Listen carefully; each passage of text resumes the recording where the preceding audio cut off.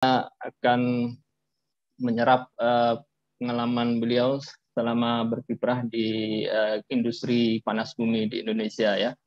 Energi panas bumi ini mempunyai tantangan yang sangat besar di pada pada pelaksanaannya ya, baik dari pendanaan, kemudian dari uh, negosiasi dengan PLN, kemudian sampai ke pelaksanaan di lapangan tentu sangat banyak sekali tantangan-tantangan yang harus bisa diselesaikan oleh seorang insinyur ya. Jadi insinyur tuh nggak cuma technical aja, desain desain power plant, pipa ya, mechanical, tetapi secara non teknis kita juga mesti mengetahui uh, apa saja yang uh, ter, yang perlu kita kuasai untuk mensukseskan suatu proyek gitu ya. Ini Pak saya sapa Pak Pak Dodi. Pak Dodi. Ya, Assalamualaikum. Waalaikumsalam Pak Dodi, udah Dodi. Rekanda kita mesin 98 ya. Ya kita 89. 89. Saya tambah mudo juga, mah tambah mudo 89 ke 98 ande, ande. biar mudah biar mudah ya baik udah ini acara kita ini adalah uh, ya ini kita pengen menyerap uh, apa pengalaman udah sebagai engineer lah ya dari mulai tahap bawah dari bawah sampai ke pencapaian sekarang ini ya. Tentu adik-adik kita engineers ya yang engineers baik yang kampus maupun yang baru lulus itu pengen pengen juga menjadi uh, seorang yang engineers yang punya pencapaian seperti ini gitu ya kita pengen menjadi mencari role model lah role model ya jadi kita mengundang udah Dodi di sini ya ini teman-teman sudah banyak yang hadir ya nah ya, ini acara baik. ini kita Ya, acara ini kita sharekan secara live juga di Zoom. Nanti adik-adik yang okay. bisa live secara Zoom bisa nonton di YouTube ya. Jadi uh, walaupun uh, di Zoom nggak bisa ikut, nanti juga bisa di YouTube. Ya. Yeah. Baik. Sehat sudah? Alhamdulillah. Alhamdulillah. Baik, eh, dari mana kita mulai ini udah ya? Jadi udah dulu bisa cerita sedikit dulu tentang diri udah dah, tentang mulai dari kuliah sampai uh, kemudian sampai sekarang udah. Baik, sebelum cerita ya ini saya kira tadi ada lebih 100 peserta yang katanya ini kan cuma 16 orang apa belum masuk ya. iya, iya, iya, iya. Nah. Jadi memang dari sisi apa? sisi minatnya saya lihat kalah nih kan kayak kemarin saya ngasih webinar di UI gitu kan ITB itu lebih 100 pesertanya. Uh, iya. ini kan lima uh, di bawah 20 yang mudah-mudahan nanti bisa banyak ya. Artinya gini. Uh, ini memang segala sesuatu kan uh, dari ini ya, dari minat kita dulu ya kan. Minat kita ya kan keingin tahuan kita nah dari sana kalau sudah ada minat keingin tahuan segala sesuatu itu uh, pasti akan apa akan dapat dicapai lah ya tapi ini ya. apa ya mudah-mudahan lah nih teman-teman sebetulnya ini kan fakultas teknik atau teknik mesin aja Iya. Fakultas teknik apa teknik mesin aja ini yang webinar ini sekarang ini yang kita ikut ya, fakultas teknik, teknik. harus general oke okay, ya. harusnya harusnya kalau teknik kan ada teknik elektro ya kan elektro udah ada ya ada elektro ya. ada mesin ada sipil ya kan mm -hmm. nah, paling tidak uh, harusnya sih mulai dari apa uh, semester mungkin udah semester 6 gitu kan semester 6 udah harusnya udah ada minat nih menurut saya kan adik-adik ini ya kan Iya, nah, iya. mungkin ini juga nggak nggak bisa kita salahkan mungkin juga apa kurangnya informasi, hmm. kurangnya sosialisasi ya kan karena ini menurut saya kan ini suatu momen yang cukup bagus ya kesempatan yang bagus bisa iya, iya. sharing iya. ya kan ya, karena pengalaman saya selama ini seperti di uh, apa perguruan tinggi lain kan minatnya sangat tinggi kan ya yeah. seperti di ITB UI atau Unpad gitu artinya apa ya minatnya tinggi mungkin uh, apa uh, pengetahuan atau wawasan mereka mungkin uh, lebih terupdate ya kan dibandingkan kita yeah. ini saya bandingkan ya kita bandingkan yeah, yeah. dengan kita di Universitas Andalas nih kan dari dari peserta jumlah peserta kan kelihatan kan benar artinya, benar ya artinya benar. kan ini kan dari publish sebetulnya kan ada kesempatan bincang-bincang mengenai apa dengan dengan salah satu alumni mengenai uh, apa prospek uh, panas bumi ke depannya ya kan termasuk prospek peluang untuk uh, berkiprah lah ya kan untuk berkarir di panas bumi ya kan tapi sepertinya ini uh, minatnya kurang mungkin itu tadi kurangnya informasi kurangnya sosialisasi uh, kurang uh, uh, mungkin wawasannya mungkin juga belum sampai ke sana. Memang harus ada ini nih uh, harus ada mentor menurut saya ada mentornya ya kan? Mm-hmm. mentornya ya inilah mentornya senior senior tadi para alumni ya kan nah itu mm-hmm. saya harapkan mudah-mudahan ke depannya ini bisa apa uh, bisa lebih ditingkatkan karena ini peluang yang sangat ini sekali nah ini mohon maaf saya uh, sambil di kendaraan karena saya barusan ada rombongan wakil menteri Kementerian Keuangan kebetulan kan kalau Geodipa Energi kan BUMN-nya di bawah Kementerian Keuangan bukan di iya. bawah yeah. Erick Thohir tapi di bawah Sri Mulyani ya kan nah tadi juga hmm. ada dirjen-dirjennya kanwil semuanya mereka dalam rangka tur kemarin kan di apa uh, di Italia kan ada konferensi uh, uh, G20 ya, G20 itu ya. Ini topiknya. Yeah. Topiknya itu malah renewable energy, ya kan renewable energy.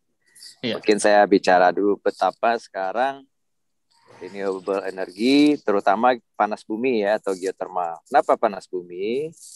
Karena Indonesia itu adalah negara salah satu negara yang mempunyai potensi panas bumi terbesar di dunia. Oke ya kan? Terbesar iya, di dunia bener. ya. Mm-hmm. Kalau diurutkan mungkin setelah Amerika ya, tapi sebetulnya 11-12 mungkin nanti setelah dibuktikan mungkin bisa jadi lebih besar daripada Amerika. Tapi kira-kira itulah potensi panas buminya uh, uh, terbesar di dunia, ya kan? Dan tren uh, dunia saat ini ini adalah tuntutan global ya. Barusan juga Pak uh, Wakil Menteri menyampaikan bahwa renewable ya kan renewable atau EBT bahasa kitanya EBT lah ya energi yeah. baru dan terbarukan ya kan jadi yeah. energi baru dan terbarukan itu ya renewable energi kira-kira seperti itu ini ke depannya bukan lagi pilihan yeah. ya bukan mm. lagi pilihan bukan lagi opsi yeah. tapi sudah it's emas ya sudah suatu keharusan ya suatu keharusan ya kan karena kenapa ini adalah uh, sudah menjadi tuntutan global dunia global ya sudah yeah. menjadi komitmen uh, dunia, mm-hmm. ya kan? Mm-hmm. Kenapa tuntutan dunia dengan isu climate change ini ya kan? Kita ketahui yeah. ini ini suhu di permukaan bumi ini naik ya kan sekian ada sekian tahun tuh sekian derajat Celcius kira-kira mm-hmm. ya kan? Akibatnya apa? Akibatnya terjadi kerusakan ya kan mencairnya kutub es naiknya yeah. Ya. uh, permukaan air laut terjadinya banjir sana sini cuaca ekstrim segala macam ya kan yeah. oke okay. nah itu harus uh, kita manage harus kita cegah ya kan artinya yeah. kita cegah ini uh, urusannya adalah urusan uh, anak cucu nantinya ya kan yeah, nah, yeah. untuk menyelamatkan anak cucu kita ini menyelamatkan alam kita ini. Makanya ini menjadi suatu concern di dunia sekarang ya. Semua negara-negara uh, berkomitmen untuk mensukseskan ini. Bagaimana mereduce mengurangi emisi CO2 tadi ya, ya. CO2 yang menjadi penyebab utama ya kan menipisnya lapisan ozon terjadinya perubahan iklim atau climate change tadi kan mm-hmm. ya climate change tadi nah sehingga semua uh, negara-negara ini terutama negara-negara yang mempunyai potensi energi bersih tadi ya energi iya, bersih ya, ya. energi terbarukan tadi itu mereka harus uh, punya komitmen ya kan ya, dan ya. ini uh, akan didukung oleh negara-negara uh, besar negara-negara maju ya, ya, ya tentu ya. mereka punya uang kan yeah. punya kekuatan finansial yang cukup, mereka akan mensupport. Jadi apa pun langkah-langkah kita, sepanjang kita uh, ikut uh, dengan komitmen global tadi, ya kan, ini kan dimulai dulu dari Paris Agreement itu ya, Paris Agreement, yeah, yeah. kemudian ada diturunkan lagi ya ke apa komitmen-komitmen uh, yang lain sampai ke komitmen negara termasuk Indonesia kita punya komitmen uh, yang dituangkan dalam ada ada perpres ya kan kebijakan energi nasional ya kan? Uh, ada nanti uh, bentuknya ada per, uh, ada ada kepres ada permen segala macam bla bla bla bla. Nanti bisa kita lihat ya kan? Itu hmm. semuanya intinya adalah untuk uh, mendukung komitmen Indonesia tadi terhadap Paris Agreement tadi ya kan? Untuk mendukung uh, pengurangan emisi atau efek rumah kaca tadi ya Nah, ya, jadi ini peluang yang ini udah ya uh, untuk karena udah penjabaran tadi karena climate climate change ya. Jadi ya, generasi muda ini jangan terlalu inilah dengan fossil fuel ya. Karena ya. kita hobi dengan uh, bensin ya. Kalau kita naik kendaraan kalau nggak dengar suara mesin kurang greget gitu ya. Hmm. Tapi untuk ke depannya uh, kelihatannya memang uh, ini kesempatan buat generasi muda engineer-engineer dari yang muda ya. Ke depan ini kesempatan dan tantangan ya. tantangan. Nah, jadi iya. ke depannya mungkin kita mesin itu nggak bersuara lagi gitu ya udah ya. Iya. Minggu jadi... lalu ya, dua minggu lalu kita undang Ricky Elson udah Dodi. Uh, Ricky Elson juga beliau adalah seorang pegiat energi terbarukan nama beliau concern dengan uh, motor listrik ya. Karena motor listrik ini adalah mesin yang efisien ya. Efisien sementara engine fuel fossil fuel fuel itu adalah mesin yang tidak efisien. Dan dikombin lagi dengan resource-nya dari green energy itu akan lebih uh, wow lagi gitu. Udah kesempatan buat uh, engineer yang yang engineer kita ini untuk energi terbarukan ini. Ya Mm-mm. Betul, itu, itu benar sekali ya kan. Itu mungkin secara umumnya seperti itu. Renewable itu kan mbak banyak ya renewable itu ada uh, surya ya kan energi surya, energi angin atau banyu disebut energi angin ya kan, biomass ya kan. Yeah. Nanti macam-macam ada hydro ya kan? Hmm. dan geothermal itu sendiri. Tentu saya kalau sebagai saya sebagai praktisi panas bumi tentu saya akan melihat di perspektif panas bumi ya kan? Yeah. nah, kenapa kenapa panas bumi? Tadi itu. Sama karena potensi panas bumi di, di dunia Indonesia adalah uh, resource yang paling besar ya kan? Yeah. nah ini baru dikembangkan uh, di bawah 10% ya kan? Artinya yeah masih ada 90% lagi tuh potensinya ya kan. Nah, roadmapnya sudah ada disusun yeah. ya kan oleh pemerintah ya kan dalam hal ini kalau Kementerian Teknisnya SDM ya, Kementerian hmm. Energi Sumber Daya Mineral, kemudian hmm. didukung oleh Kementerian Keuangan ya kan untuk ininya yeah. nanti untuk uh, support pendanaannya ya, green yeah. energinya ya apa uh, green fundnya, green yeah. fundnya nanti akan bekerja sama juga dengan uh, lender ataupun donatur ya uh, multilateral bank ya seperti World Bank, ADB, JICA segala macam banyak lagi ya kan yang siap dengan uh, pendanaannya. Jadi sepanjang renewable mereka siap. Oke okay, ya kan. Yeah.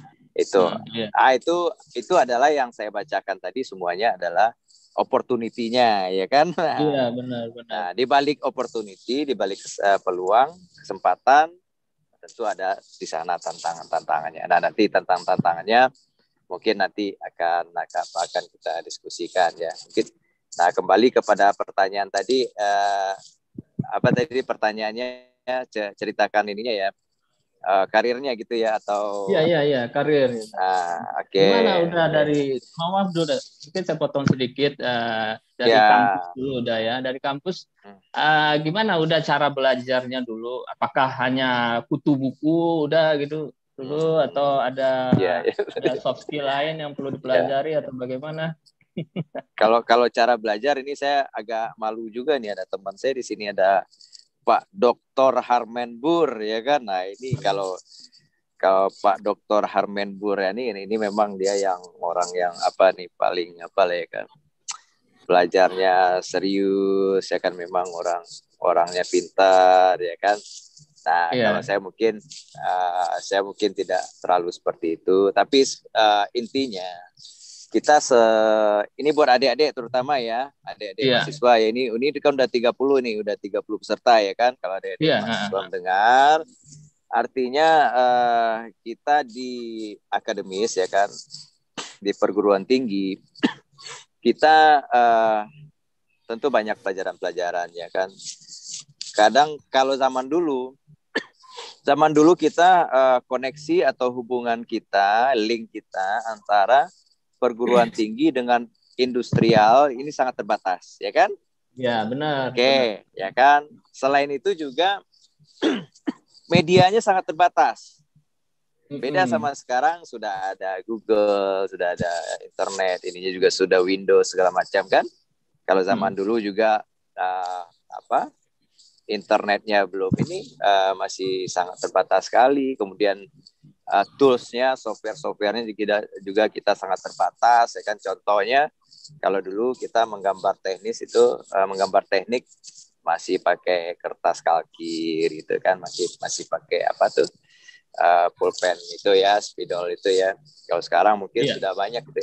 Kalau sekarang engineer sudah main software semuanya kan. Software ya.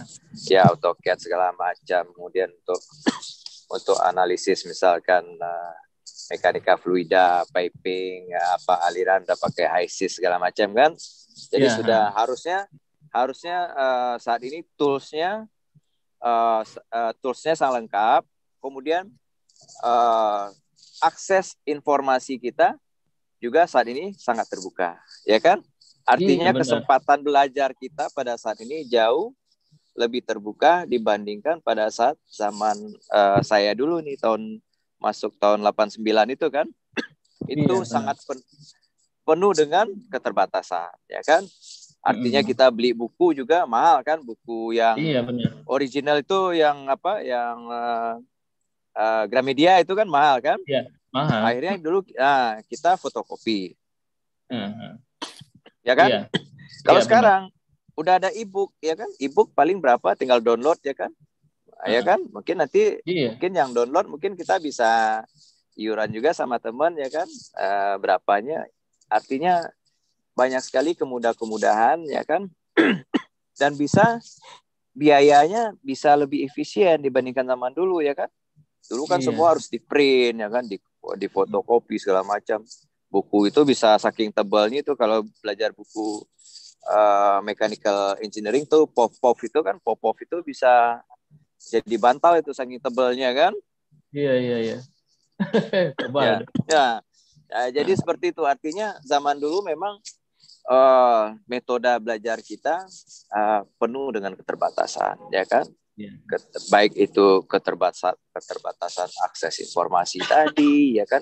Keterbatasan biaya juga kali ya kan? Karena buku-bukunya mahal harus fotokopi segala macam ya kan kemudian belajarnya juga cara belajarnya toolsnya juga sangat terbatas ya kan menggambar iya. teknik tuh masih pakai manual segala macam gitu hmm. jadi uh, itulah keterbatasan keterbatasan kita pada waktu itu ya kan tapi uh, yang saya rasakan sebetulnya dari uh, textbook atau buku-buku yang kita pelajari itu yang penting kita sebetulnya ini uh, arahnya ke mana sih ya kan arahnya ke mana buat yeah. apa ini belajar integral hmm. rangkap tiga gitu kan di, diferensial ya kan hmm. akhirnya ujung-ujungnya apa yang dipakai F sama dengan MA ya kan yeah. kira-kira seperti itu ya kan atau Bernoulli diturunkan sepanjang ini, ini. Gak taunya Bernoulli hanya uh, delta P sama dengan rho GH ini segala macam ya kan pendek ya kan iya yeah. ya tapi itu sebetulnya ya itu sebetulnya untuk mengasah ya kan? Mengasah cara berpikir kita ya kan? Cara berpikir kita artinya apa? Dengan uh, segala jenis permasalahan yang banyak yang rumit tadi bagaimana kita menjadikannya sederhana sehingga gampang kita selesaikan kan itu kan? Iya iya. Nah itulah itu filosofinya sebetulnya. Jadi begitu kita terjun nanti ke dunia kerja itu uh, permasalahan yang kita temui itu sangat banyak sekali dan kadang nggak ada bukunya, ya kan? Yeah, yeah, Sama dengan integral tadi ya kan kita ambil eh, elemennya ya limit ini mendekati nol segala macam kan kita turunkan ujung-ujungnya apa cuman f sama dengan ma. Begitu juga yeah. nanti begitu kita uh, bekerja banyak permasalahan kita ya kan kalau terjadi misalkan buat engineer ya ini terutama kan teman-teman uh, adik-adik ini pasti engineer dulu kan langkahnya kan yeah, engineer benar. banyak masalah ini A B C D root cause-nya kan macam-macam. Ini bagaimana uh, yang banyak tadi uh, penyebab tadi kita jadikan satu root cause ya kan. Akarnya yeah. apa sih? Akar penyebab masalah tadi kan. Kita lakukan troubleshooting yaitu tadi se sebanyak diferensial tadi kita dapatkan oh F-nya sama dengan MA nggak tahu gitu. Yeah. Jadi itulah tujuan kita belajar di perguruan tinggi itu itu. Jadi tidak apa uh, belum tentu itu integral tuh mungkin ya tidak dipakai ya kan integral diferensial yeah. itu memang tidak dipakai ya kan tetapi yang dipakai adalah uh, metodologi ya kan? Dan cara berpikir kita tadi bagaimana berpikir struktural tadi memapping permasalahan ya kan? Mm-hmm. sehingga me, di, uh, menjadi satu konklusi yang sederhana sehingga itu bisa kita selesaikan. Jadi yeah. pesannya itu sebetulnya. Ya pesannya itu. Dari pelajaran-pelajaran tadi kita itu kan.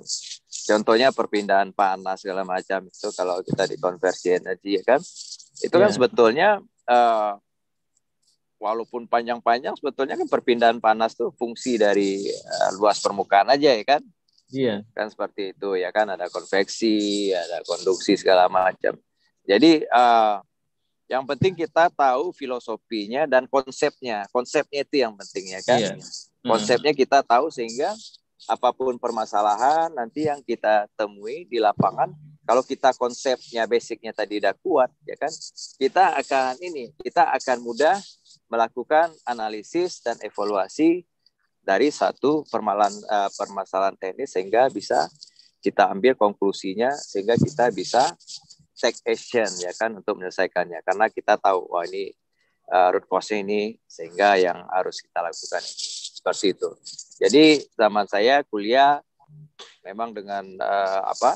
Dengan penuh keterbatasan tadi ya kan mungkin juga uh, apa uh, dosen pengajarnya mungkin nggak seperti zaman sekarang. Zaman sekarang mungkin lebih inilah ya kan artinya mungkin uh, lebih terbuka, mungkin juga lebih apa? Lebih uh, ya lebih cair ya kan lebih friendly ya kan kalau zaman dulu yeah. memang apa uh, paradigmanya kan mungkin masih paradigma lama ya kan iya di orde lama ya, ya orde lama baru. memang mendapatkan nilai pada saat itu memang sangat susah sekali ya kan ya susah itu mungkin itu tadi karena bukan salah dosennya juga ya kan mungkin kita mahasiswanya juga karena tadi kurangnya pemahaman ya kan pemahaman karena kita juga akses informasinya. Kalau sekarang kan di googling semua ada kan. Oh ini belajar ya kan.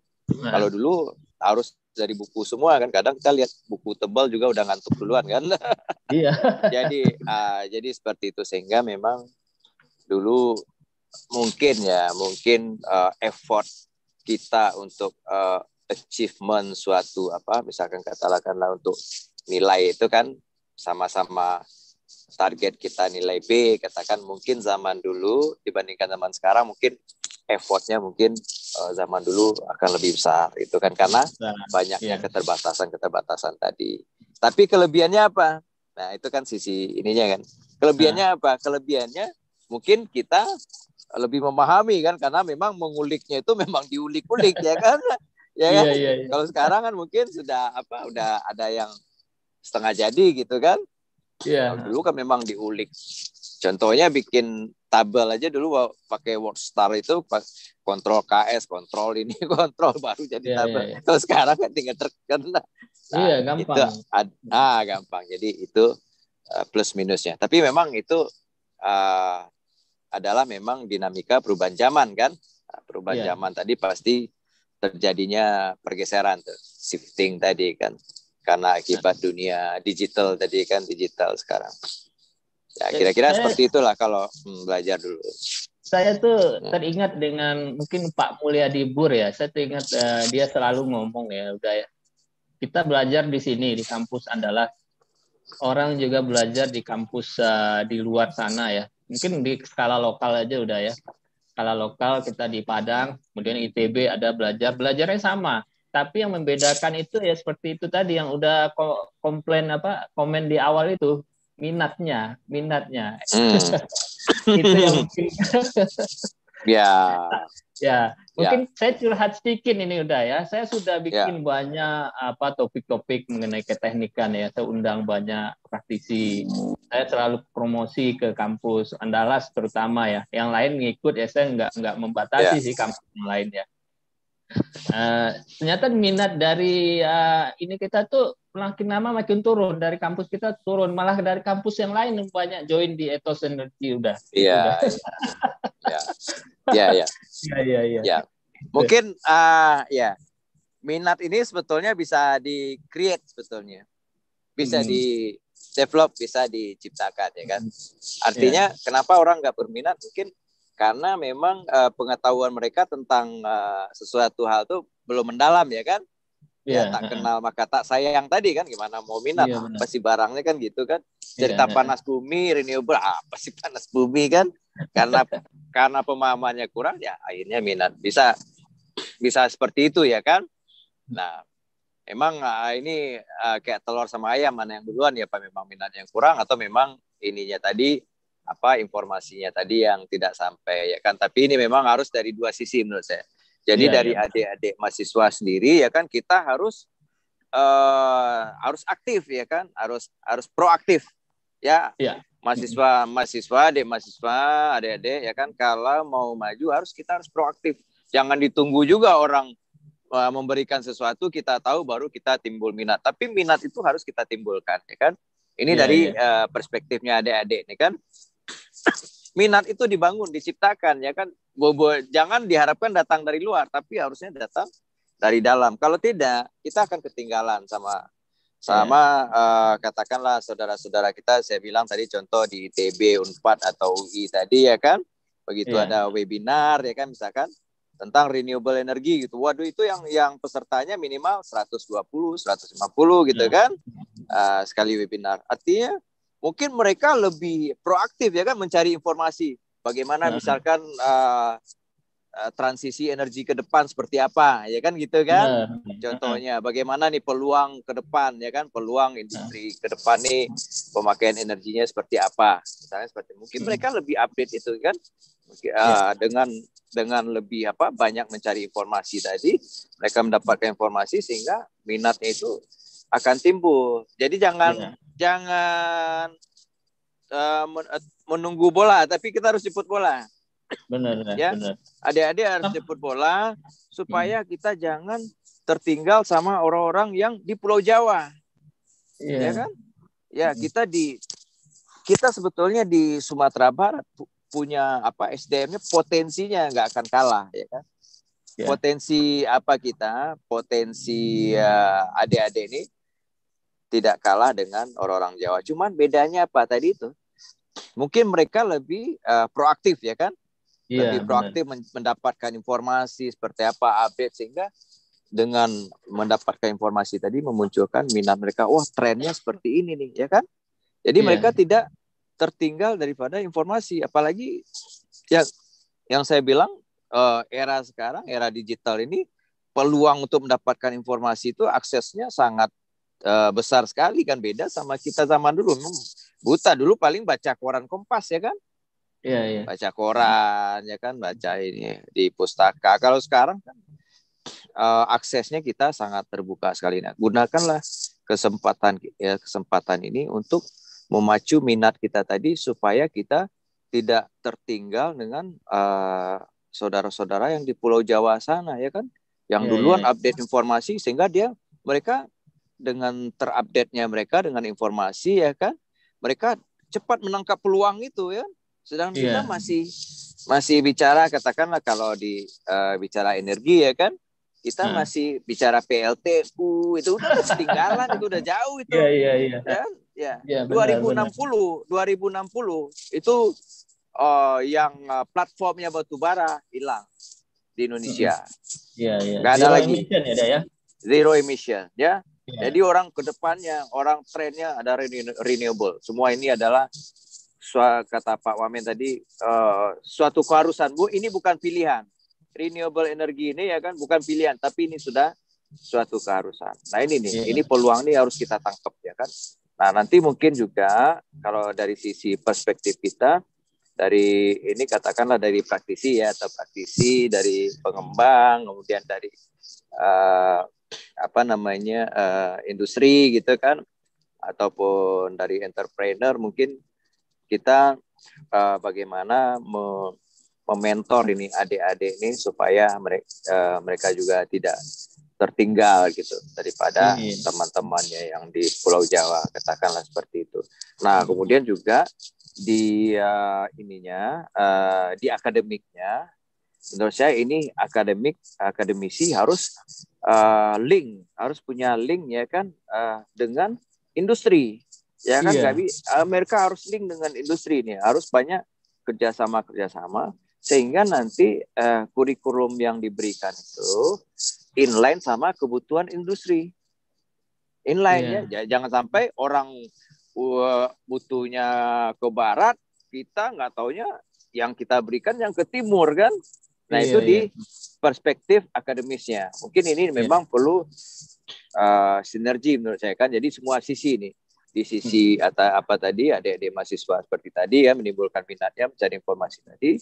Di sisi akademis mungkin juga harus uh, harus harus move on di, di switch ya kan. Nggak boleh kita uh, konvensional lagi kan karena orang melangkah sudah sekian langkah ke depan trennya ke mana apa yang dia butuhkan itu yang kita siapkan sehingga nanti adik-adik ini sewaktu tamat dari perguruan tinggi juga siap menghadapi tantangan-tantangan untuk peluang-peluang yang ada ini seperti itu. Iya. Jadi ya. peluang ya. yang terbesar buat masa depan yang engineer nih mahasiswa kemudian anak yang baru lulus ini adalah di green energy ya seperti ya, geothermal yes. nih green yes. energy ya panas bumi ya. angin apa ya, uh, ya. jadi uh, surya ya teman-teman ya yang engineer-nya harus uh, lebih fokus ke sana ya. lah untuk mencari peluang-peluang ya. yang lebih menjanjikan ke depan gitu ya. Ya. Dulu dunianya ya. oil and gas. Nah, tapi dulu sekarang, dunia oil and gas. Ya. Sekarang kita tidak bisa lagi berkutat di sana gitu ya. ya. Jadi uh, terkait dengan ini tadi dah ya, karena mungkin kita bukan ini ya, karena orang Minang ini kan uh, kalau kita berkumpul di di daerah kita kita sulit untuk berkembang ya. Ini arahan untuk adik-adik ini uh, apakah harus uh, merantau gitu dah supaya bisa kita lebih apa melihat kedinamisan di dunia, dunia luar sana supaya bisa mereka termotivasi berkembang begitu dah. Apakah mereka mesti seperti itu dah?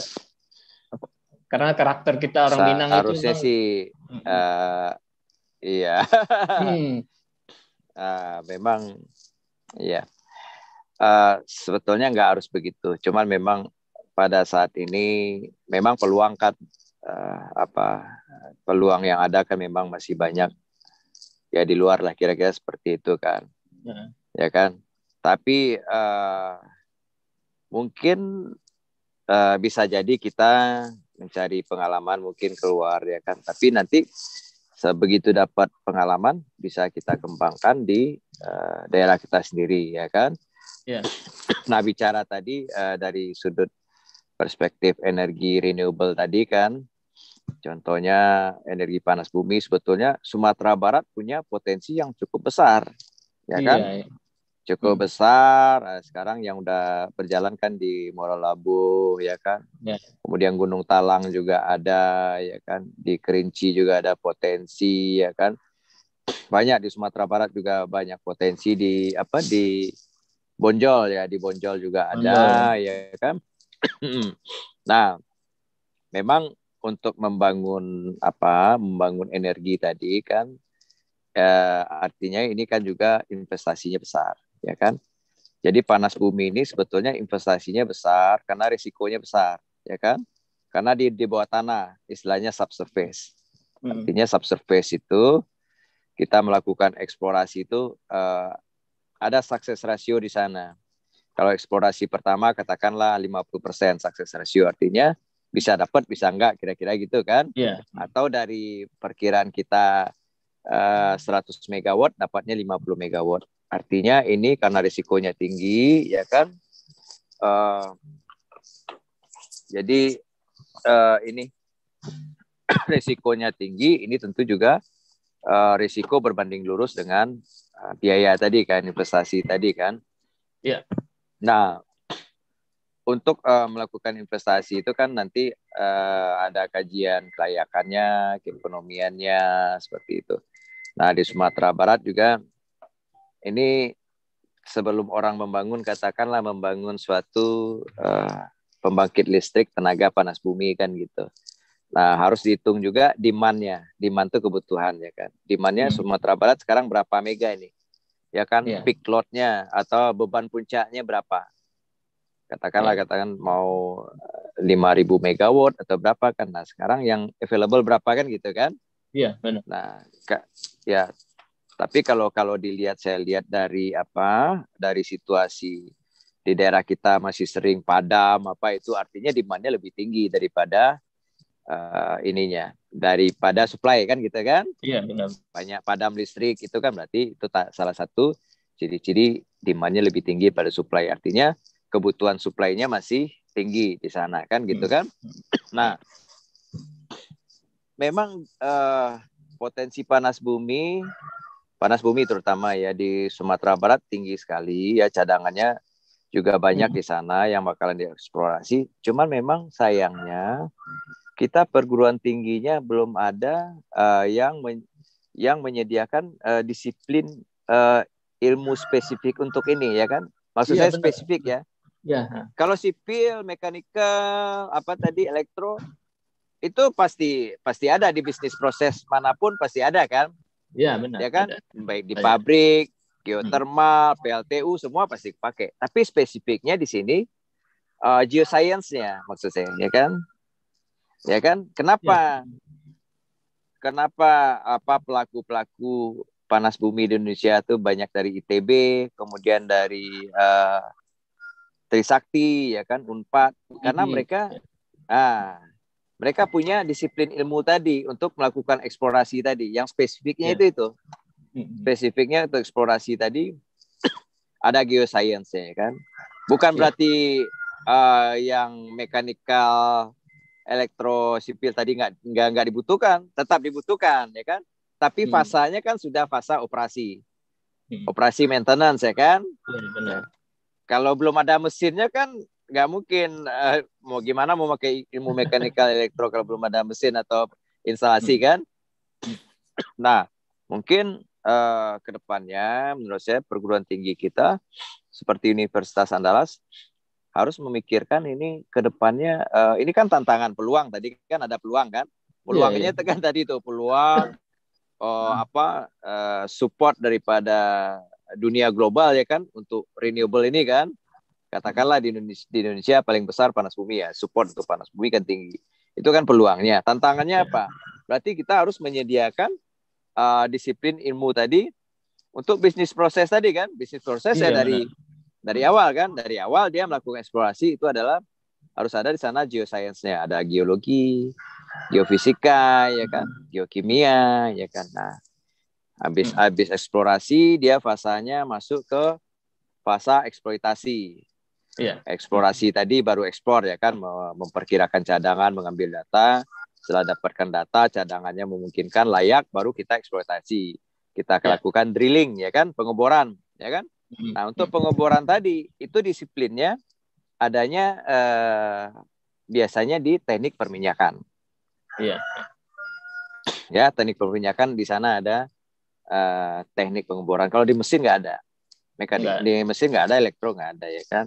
Yeah. Nah itu bisnis proses sampai sana, eksplorasi, eksploitasi belum ada itu, ya kan? Yang hmm. mendukung itu disiplinnya di daerah hmm. kita, di uh, perguruan tinggi kita, ya kan? Nah nanti setelah eksploitasi baru fase operasi atau pemanfaatan kan dibangun pembangkit listriknya ya kan nah di sana udah ada itu bisa nih adik-adik nih kan ada hmm. mechanical, hmm. piping nanti di sana, konstruksinya sipil ya kan? Hmm. Konstruksi sipil, mechanical, kemudian instalasi listriknya ada elektro harus kuat harus lemah itu udah oke okay di sana. Tapi di ada beberapa fase kita nggak bisa partisipasi di sana. Beberapa fase di bisnis proses tadi ya. Ada fase eksplorasi fase eksploitasi tadi. Gitu. Jadi kita miss di sana. Artinya kita kehilangan peluang. Yeah. ya Sumatera Barat kehilangan peluang untuk ini. Nah ini ini tantangannya ya padahal ya. masa depan itu adalah di sini ya ya. Ah masa depan ya. itu adanya di sini ya. Masa depan tuh adanya di sini. Kehilangan kita mom momentumnya ya kan? Kita udah masuk di ujung. Udah yeah. bangun udah bangun pembangkitnya atau power plant-nya baru kita partisipasi di sana kan? Padahal yeah. ada nih padahal yang besarnya nih di depan ini. Eksplorasi tadi kan geoscience geoscience tadi eksploitasi tadi eksploitasi pengeboran tadi kan pengeboran tadi ada mungkin teknik di teknik perminyakannya tadi kan nah hmm. Hmm. Nah itu menurut saya ini tantangannya. Apakah kita mau mengambil peluang ini atau enggak? Ya yeah, kan? Nah iya. inilah tugas daripada menurut saya tugas daripada uh, orang-orang akademis akademisi kita, ya kan? Para para yeah. dosen, para rektor, para apa uh, staf pengajar, dekat dekan, ya kan? Itu peluangnya. Yeah. Nah, jangan sampai miss nih menurut saya kan. Nah, ini udah diambil sama ITB, uh, Trisakti, Unpad, yeah. UI, ya kan? Nah akhirnya yeah. mereka duluan, ya kan? Ketertinggalan mm -hmm. kita. Padahal fase eksplorasi sampai eksploitasi tadi itu kurang lebih bisa lima tahun, ya kan? Ya, Kehilangan kita lima tahun berapa banyak yang apa aktivitas di sana ya, aktivitas yang terkait di sana berapa banyak yang membutuhkan engineer-engineer tadi kan? Atau geoscience tadi kan? Geoscience sama tadi tuh. Sama uh, engineer untuk drilling tadi untuk pengeboran. Katakanlah seperti itu. Nah ini peluang ini iya. uh, menurut saya harus kita pikirkan untuk kita ambil. Karena trennya ke depan sudah seperti itu. It's uh, it's a must tadi. Sudah keharusan sudah iya, keharusan iya. gitu nah. jadi adik-adik ini sekarang kan masih ya, apa namanya hmm. uh, masih teori teori ya teori hmm. uh, mereka belum menyadari dan kondisi sekarang ini energi ya kebutuhan dasar manusia ya ada ya pangan ada apa ada energi ya nah energi ini kan porsinya kita nih anak-anak yeah. teknik ya cuma uh, mereka ya. ketika di kuliah mereka tidak mendapatkan gambaran seperti itu bahwasanya ada uh, mesin itu ya kita eh, mesin yang berhubungan dengan energi terbarukan gitu ya mesin-mesin iya ya misalnya ya mesin kincir angin kah apa turbin ya. untuk uh, panas bumi atau apa ya. jadi ketika di lapangan pengennya dulu kita pikirannya kalau kuliah itu kayak pengen kerja di pabrik gitu dah ya pengen kerja ah, pabrik mobil kah pabrik yeah. uh, Panasonic apa apa itu pikirannya yeah. tidak salah dulu, tidak ya. salah ya. saya juga Jadi dulu berpikir begitu Jadi ketika selesai kuliah, eh, saya mau kerja apa ya? Jadi bingung kan, tenggelam jadi nggak bisa kerja jadi nggak nggak mendapatkan peluang. Menurut udah tuh nah. gimana? ya jadi jadi itu. Jadi kalau di sisi di sisi mahasiswa tadi kan saya udah ini kan udah ya, apa ya. udah kasih arahan kita emang harus proaktif ya kan.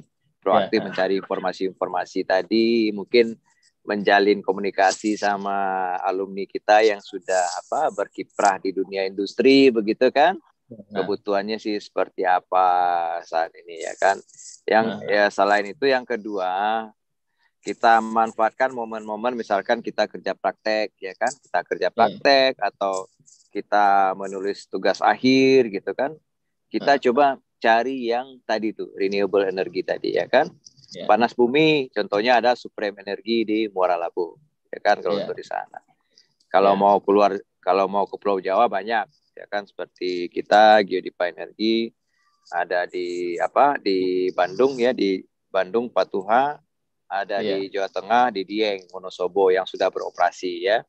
Yeah. Nah, itu bisa kita melakukan kerja praktek atau tugas akhir di sana ya kan di Lampung juga ada ya kan uh, Pertamina geothermal energi PGE di sana juga ada Supreme juga ada Supreme Energi ya. kemudian ada Starbucks ya. banyak hmm. Hmm. ada juga kemarin itu yang udah Ricky Elson tuh dia kan bikin apa namanya bikin uh, tempat praktek mahasiswa lah untuk uh, energi terbarukan yang angin lah. Nah, mahasiswa ini bisa nih kontak-kontak ke sana, bisa kerja praktek ke situ energi terbarukan gitu. Itu juga peluang juga menurut saya karena uh, sekarang ini kan untuk perusahaan-perusahaan yang besar itu dah ya agak susah perusahaan menerima uh, mahasiswa magang karena covid gini dah. Tadi agak apa namanya uh, kita memahami juga kondisi seperti itu kan. Jadi uh, mana yang bisa uh, yang kita lakukan seperti ke apa ya perusahaan-perusahaan yang bisa menerima lah dan juga adik-adik ini media-media YouTube itu ya media adik-adik ini apa namanya YouTube media sosial itu kebanyakan sekarang TikTok ya kan TikTok atau Instagram atau apa lebih lebih banyak hiburan dah ya tidak dimanfaatkan yang positif seperti YouTube ini yeah. Ya. uh, sangat banyak yeah. unlimited lah gitu ya jadi ya, bisa dimanfaatkan maksimal mestinya ini ya. untuk pengganti kerja prakteknya itu. Betul, gitu. betul. Nah ini salah satunya yang saya undang, saya udah saya undang kan harusnya mereka bisa apa namanya uh, mengambil uh, pengalaman apa sih gitu ya, ngapain aja sih, apa aja yang perlu dilakukan supaya bisa kerja siap kerja nanti gitu deh. Saya juga melihat kondisi seperti itu sih. Ya, ya, saya rasa TikTok juga perlu ya kan TikTok biar nggak stres gitu tapi jangan dilupa tapi jangan lupa, uh, lupa juga kita tugas pokok kita tujuan kita kuliah kan tentu kita, kalau kita begitu kita mengambil teknik berarti kita siap untuk menjadi engineer kan seperti itu kan? Iya, iya. nah engineer iya, peluangnya itu tadi peluang sudah ada seperti itu tantangannya apa? Berarti kita harus menyiapkan diri kita. Menyiapkannya itu tadi mencari informasi tadi benar informasi kan banyak bisa di YouTube misalkan pembangkit listrik panas bumi. Gimana prosesnya sih ya kan? Itu yeah, kan yeah. ada ya kan informasinya. Yeah. oh seperti ini ya kan? Nah. uh, kemudian uh, bagaimana sih terjadinya konversi panas bumi kok bisa jadi listrik? Itu seperti apa prosesnya? Ada semua ada sekarang kan? Uh, kebayang gitu. Ya jadi nanti begitu kita masuk ke dunia kerja ya kan misalkan kita ke renewable uh, maupun di uh, apa tenaga surya atau di angin ya emang yang gede sekarang masih hidro sama panas bumi kan? Iya. kalau hidro tadi kan PLTA itu cuman uh, eh, PLTA ini uh, iya. kan memang besar cuman dia terpengaruh cuaca ya kan hmm. begitu musim kemarau waduknya kering sungainya kering uh, turbinnya kan udah nggak bisa full load nggak bisa ini tapi hmm. kalau geothermal kelebihan itu tadi Surya gitu juga begitu mendung ada awan nggak bisa produksi yeah. ya kan yeah. Ya. uh, juga angin kurang kalau geothermal itu kelebihannya dia bisa uh, stabil dia bisa jadi base load kan gitu kan yeah. nah, nanti kalau adik-adik memang berminat uh, renewable khususnya geothermal tadi dicari dulu tuh informasinya kan tadi udah terbuka kan ada YouTube-nya tinggal di browsing hmm. seperti apa biar kebayang ya kan biar kebayang nah yeah itu kan untuk ininya untuk knowledge tentang uh, objek pekerjaannya. Tapi iya. bagaimana yeah. kita melangkah ke sana kan gitu kan supaya bisa. Yeah. Yang susah kan masuk pertamanya itu kan mengaksesnya yeah, itu kan. Aksesnya itu. Nah, kalau sekarang memang berbeda zaman dulu. Karena memang uh, zamannya apa ke depannya semakin kompe, apa kompetisinya semakin tinggi ya kan? Artinya seleksi, seleksi penerimaan itu pasti semakin ketat ya kan? Ya karena lul, ya kan? Lulusannya antara lulusan eh itu tadi supply demand tadi kan? Antara hmm. lulusan dengan kebutuhan tadi kan tidak seimbang kan artinya lulusannya seribu mungkin uh, kebutuhannya katakanlah hanya 20 50 seperti itu. Nah, berarti kita kan harus meningkatkan daya saing kita kan. Meningkatkan daya saing kita tadi dengan meningkatkan kompetensi kita tadi ya.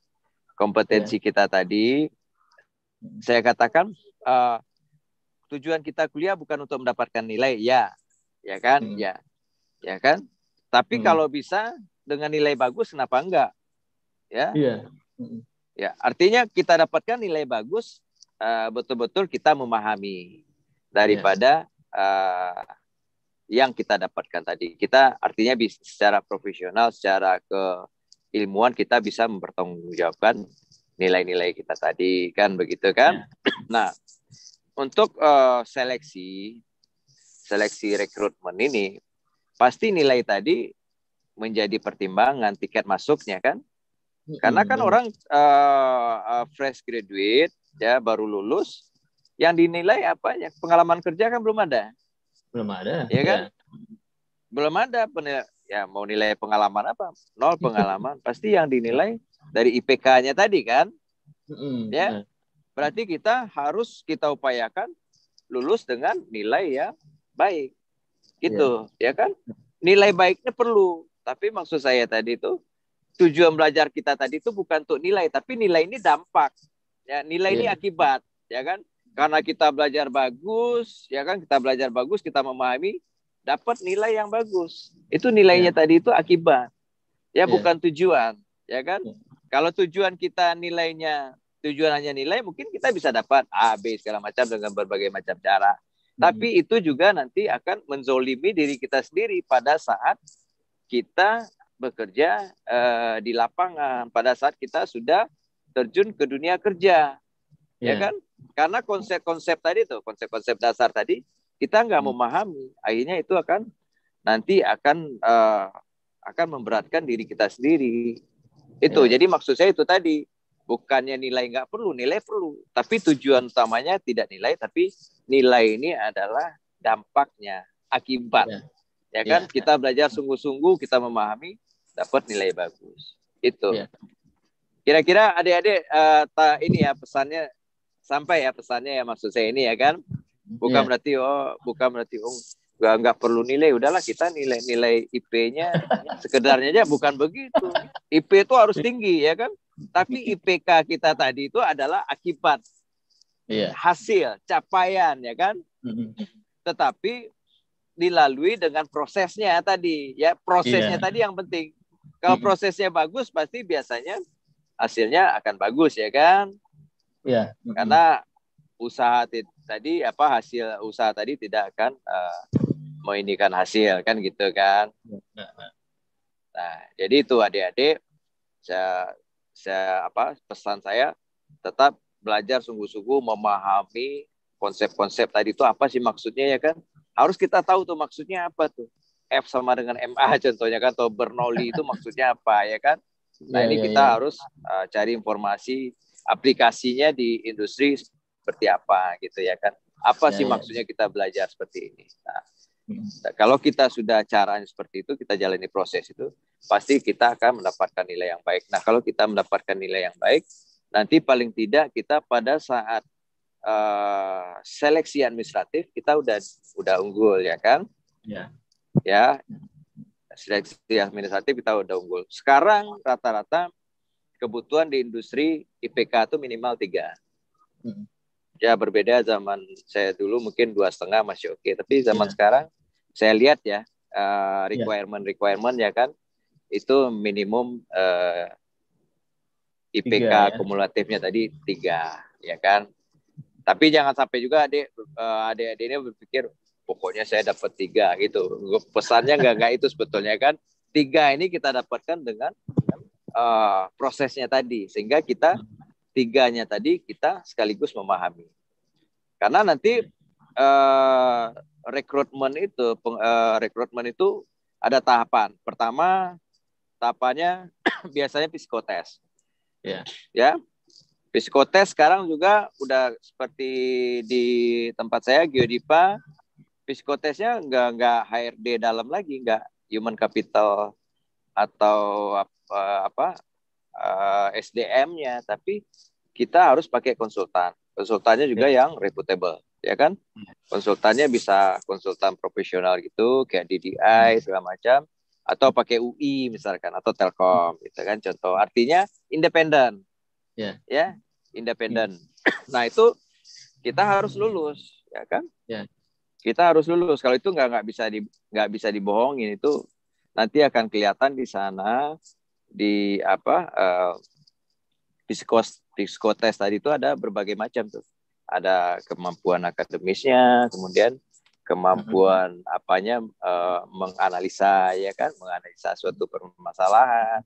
Kemudian nanti mungkin ada ya uh, kerjasamanya ya kan kalau orang yeah. nih teamworknya seperti apa ada komunikasi banyak sekali parameter-parameter yeah. yang ada di sana ya kan itu mewakili kompetensi kita tadi ya kan jadi yeah. kalau kita melalui prosesnya tadi dengan benar itu kan proses-proses tadi kita tadi yang kita lalui benar itu nah di sana kita akan kebaca ya kan pasti kita yeah. akan lolos di sana mm-hmm. berbeda dengan orang tadi mungkin dia administrasinya lolos kan mungkin dia dapat yeah IP 3 tapi hmm. prosesnya nggak dia lalui ya kan waktu dia psikotes dia nanti juga akan gagal itu maksud yeah. saya itu ya kan makanya yeah. kenapa tadi uh, capaian-capaian kita tadi kita lalui upayakan melalui suatu proses yang benar-benar uh, kita lakukan apa uh, kita memang memang betul-betul kita pahami iya, seperti itu ya nah setelah lulus psikotes ya kan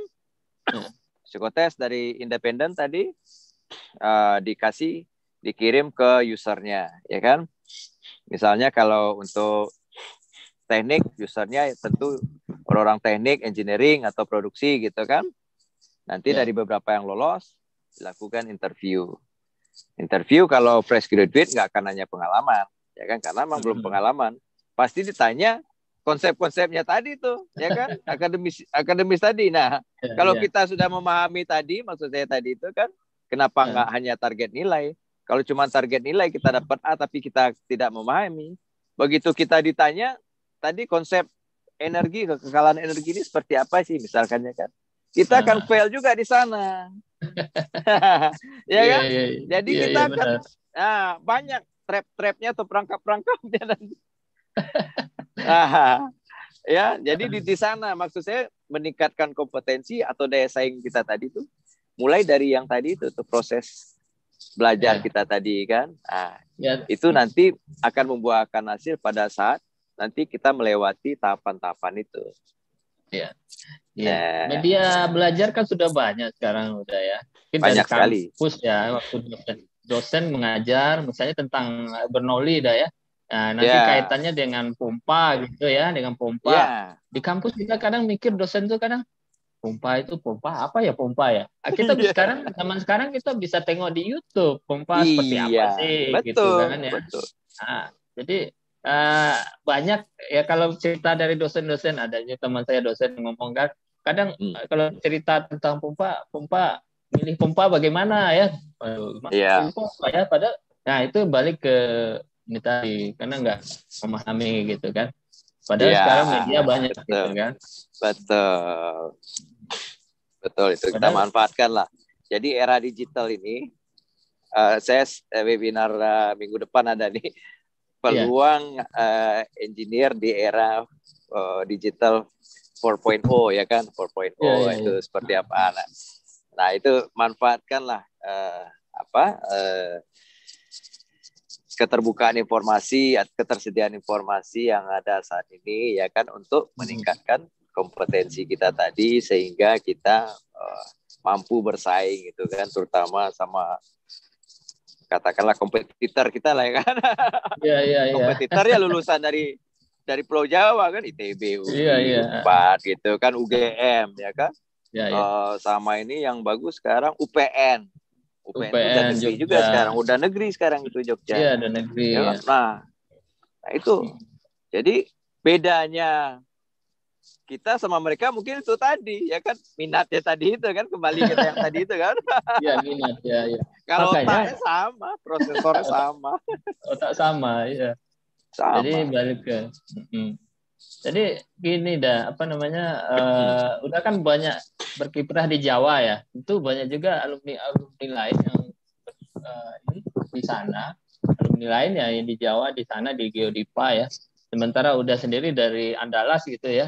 Kira-kira soft hmm. skill apa udah selain technical mungkin tadi udah perlu kita perlu yeah. kuasain ya kayak Bernoulli atau apa energi gitu kan hukum kekalahan energi kira-kira skill apa lagi yang bisa menunjang uh, dari pengalaman udah sih yang bisa menunjang uh, karir, karir kita ya okay. ya nasihat khusus untuk alumni Andalas nih guys kalau Jawa uh, mungkin nah alumninya udah banyak yang mendukung kan ya okay. tapi kalau di kita yeah. nih alumninya masih uh, belum banyak yang punya apa namanya pengalaman menghadapi kondisi seperti itu dah. Oke. Begitu kita sudah terjun ke dunia kerja, ya kan? Pasti yang kita temui tidak hanya masalah teknis. Karena yeah. kita kita tidak hanya berhubungan sama mesin ya kan. Kalau mesin kita yeah. bisa ini kan. Kita setting, kita maintenance, hmm. troubleshooting segala macam, udah dia jalan kan. Tapi hmm. kita akan berhubungan sama manusia ya kan. Yeah. Ya, ya manusia pasti akan berbeda-beda ya kan? Setiap manusia itu berbeda-beda. Tingkah laku attitude budayanya segala macam ya kan? Nah yang paling penting ini nanti uh, di dunia kerja adalah pertama komunikasi. Komunikasi ya. Ya ya bagaimana kita berkomunikasi dengan baik ya kan? Komunikasi itu sangat penting sekali ya kan? Komunikasi untuk apa? Untuk membangun kerjasama, teamwork tadi ya kan, yeah. kerjasama kita bagaimana itu semuanya komunikasi ya kan. Kemudian mendapatkan informasi ya kan, misalkan kalau kita bekerja di, industri, katakan kan nanti kalau teknik mesin gitu kan, yeah. pasti dia nanti ya, jadi mechanical engineer, kira-kira seperti itu kan. Mm-hmm. Mechanical engineer, misalkan nah, ditempatkan di suatu pabrik atau suatu pembangkit listrik gitu kan atau suatu industri. Nah, mereka melakukan katakanlah analisis atau troubleshooting ya kan. Mereka pasti butuh butuh data kan. Data misalkan dari operasi ya kan. Dari tim operasi. Nah, ini komunikasi juga bagaimana mereka bisa mengkomunikasikan ini dengan baik ya kan? Sehingga nanti data-data yang mereka dapatkan itu bisa sesuai yang diinginkan gitu kan? Jadi tadi bangun komunikasi itu bangun kerjasama teamwork ya kan?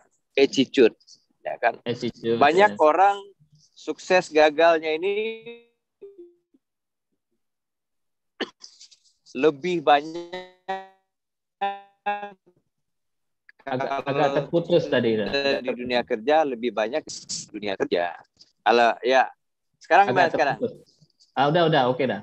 Udah. Agak tadi agak miss okay, sedikit ya, bisa diulang ya. ya. oke okay, ya ini ini kan di jalan ya. Oke. Okay. kalau kalau agak terputus ditanya lagi aja nggak apa-apa ya. Ya. Yeah. jadi apabila kita sudah masuk dunia kerja itu tadi ya. Jadi kita kan tidak hanya berhubungan sama mesin, tapi kita berhubungan sama manusia ya, yang macam-macam uh, tingkah laku, berbagai macam-macam kepribadian kita berteman hmm. dengan apa? Kita berhubungan sama uh, teman se ini sejawat gitu kan, artinya yeah. dengan level yang sama.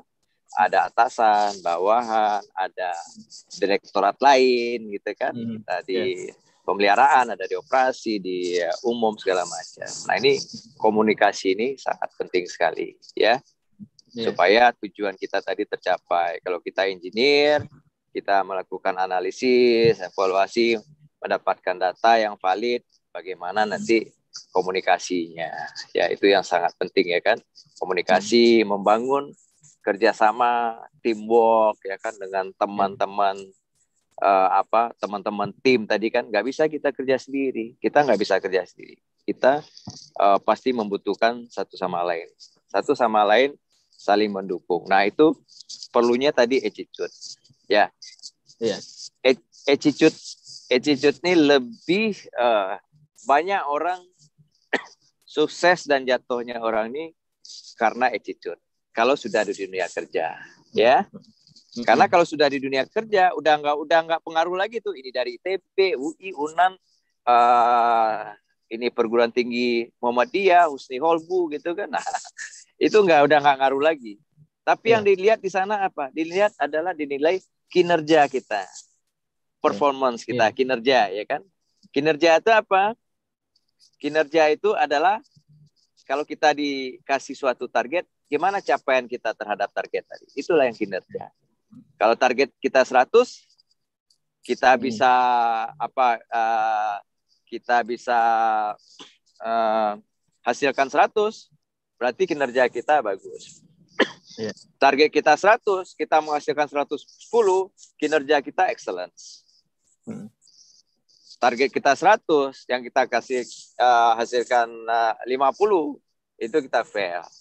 Orang lebih ngelihat di sana, ya kan? Hmm. Yang satu misalkan perguruan tinggi terkenal, ya kan? Perguruan yeah. tinggi terkenal, target 100, capaian 50. Ada yang satu lagi perguruan tingginya mungkin biasa-biasa, ya kan? Target 100 dia capaiannya 100. Mana yang dipilih oleh atasan? Mana yang akan dipromosikan? Yeah. Mana yang akan disukai? Ya kan? Hmm. Nah, hmm. itu bermainnya udah kinerja. Ya. Yeah. Hmm. Nah, begitu waktu kita saat baru lulus itu kompetensi kita kan tadi uh, ditentukan dari pertama IPK tadi kan kemudian hasil yeah. hasil hmm. ini kita tadi hasil asesmen kita atau inter uh, apa uh, psikotes yeah. tadi kan hmm. tapi begitu kita di dunia kerja ya kan ini kompetensi kita tadi indikatornya adalah kinerja ya hmm. yeah. jadi kinerja sama kompetensi itu saling mendukung. Ya. Kompetensi idealnya itu idealnya kompetensinya tinggi, kinerja tinggi. Hmm. Itu ideal ya kan? Hmm. Tapi kalau kinerjanya tinggi, kompetensinya masih kurang, itu kompetensi bisa kita isi. Hmm. Kita isi gapnya tadi. Kompetensinya harusnya apa? Kita isi dengan pelatihan, diisi dengan training segala macam sehingga kompetensinya ini tapi yang yang bahayanya kompetensinya tinggi, kinerjanya rendah. Ini ya kan? Ah inilah attitude. Itu attitude tadi. Ya kan? Mobilnya mobil uh, Fortuner baru. Ya kan? Yeah. Fortuner baru harusnya kan bisa lari 120 140 km per jam kan? Yeah. Gak ada alasan nggak bisa kan? Yeah, yeah. Berarti kenapa nggak bisa lari? Karena dia yang malas ngegas nggak digas sama dia kan? Ya kan? Secara hmm. kompetensi udah memadai nggak mungkin Fortuner nggak bisa 120 masa larinya cuma 60 ya kan? Berarti dia attitude itu tadi dia nggak ngegas. Ya hmm. kan? Tapi ada mobil padahal mobilnya mobil biasa tapi bisa lari 100 120 ya kan? Hmm. wah berarti ini yang nyetir kan jago kan? Ya? Untuk memenuhi kekurangannya tadi dibenerin mobilnya. Wow berarti ini remnya harus dipakai di itu. Ah, itulah yang kompetensi ya kan? Biar dia selamat ya kan? Biar dia tetap bisa mempertahankan kecepatannya tadi remnya harus benerin obatnya harus diganti yang baru. Itulah kompetensi diisi kompetensi. Ya, ya. jadi kompetensi tinggi kinerja rendah berarti ada sesuatu yang miss. Iya, iya. biasanya attitude. Biasanya yeah. attitude. Nah makanya idealnya kita isi kompetensi kita tadi, kita hasilkan kinerja yang tinggi. Itulah orang yang sukses. Ya. Untuk yang terkait dengan soft skill tadi udah ya. Soft skill itu di di kampus kita kan tidak diajarkan sama dosen ya. Dosen kan hanya teori ya, teori hmm. kuliahnya apa gitu ya. Jarang ya. dosen yang apa eh, mengajarkan attitude itu tadi soft skillnya ya. itu. Nah makanya dengan konsep apa uh, Nadiem Makarim ini dah kampus merdeka ini dah. Menurut Uda ya. seperti apa? Nah, beliau kan konsepnya anak teknik mesin itu ya mesti bisa komunikasi juga, mesti bisa keuangan juga, mesti apalagi yang lain itu gimana menurut Uda itu ya? Kampus merdeka itu. ya menurut menurut saya menurut saya itu memang perlu ya kan soft skill tadi kan harus diisi di segala sisi tapi pasti kita punya sesuatu yang spesifik pasti sesuai dengan disiplin kita ya kan? Iya benar. Karena memang tuntutan ke depan ini uh, orang ini dituntut udah multitasking. Iya. Ya multitasking ya di di dunia industri sekarang multitasking supaya terjadi efisiensi ya kan. Hmm. Ada maksudnya kan itu tadi efisiensi sehingga uh, industri tadi mampu bersaing dengan kompetitornya ya iya. Misalkan nih, misalkan biasanya uh, tiga disiplin pekerjaan harus di, uh, dijalankan dengan tiga disiplin yang berbeda yeah, dibandingkan yeah. dengan tiga pekerjaan yang berbeda dijalankan dengan satu disiplin gitu kan? Itu kan jauh lebih efisien. Sebetulnya yeah. arahnya ke sana karena ke depan ini semua uh, apa semua bidang usaha industri itu akan uh, menjalankan uh, bidang usahanya dengan efisien tadi. Efisien itu yeah. supaya tujuannya adalah bisa berkompetisi ya kan.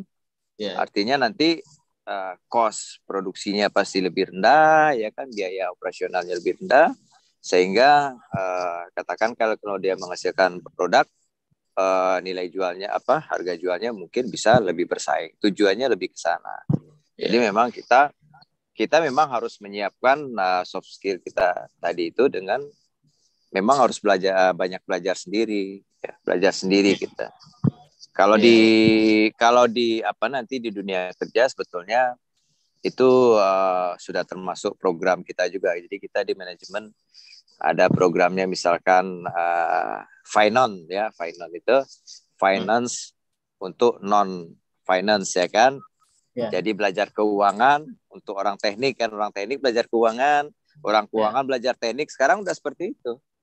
Hmm. Ya, jadi mereka uh, paling tidak mengetahui ya kan, mengetahui dasar-dasarnya itu. Karena nanti uh, tuntutan ke depan engineer nggak hanya tidak hanya dituntut KPI ya, KPI itu key performance indicator. Artinya itu adalah Uh, tolak ukur daripada kinerja kita. Jadi tolak ukur kinerja kita atau KPI kita ke depannya itu engineer mungkin uh, tidak hanya apa uh, keandalan mesin katakan gitu ya. kan. Kita misalnya orang mekanikal uh, misalkan outage-nya sekian persen nggak cuma itu ya, tetapi juga KPI kita ada efisiensi di sana berapa cost yang bisa kita tekan. Mm -hmm. Ya kan?